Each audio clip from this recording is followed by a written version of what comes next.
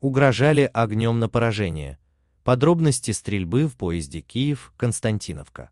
Озвучено Яндекс Спичкает. Стрельбу в поезде Константиновка-Киев устроили двое военнослужащих, которые возвращались в столицу. Они забаррикадировались в купе, поэтому их задерживали с привлечением спецназа. Об этом говорится в сообщении полиции Харьковской области. Сообщение о том, что неизвестные устроили стрельбу в поезде, поступило в Красноградский районный отдел полиции около двух часов ровно. На место срочно прибыло руководство областного главка полиции, следственно-оперативная группа территориального подразделения, эксперты, взрывотехники, передвижная криминалистическая лаборатория.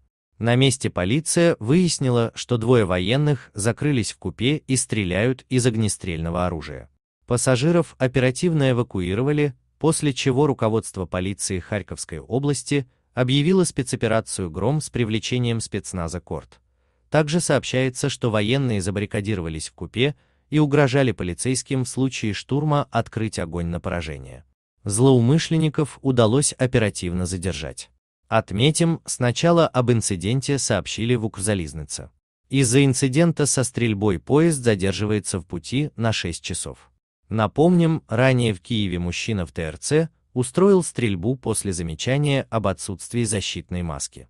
В результате инцидента охранник получил телесные повреждения в область головы и туловища.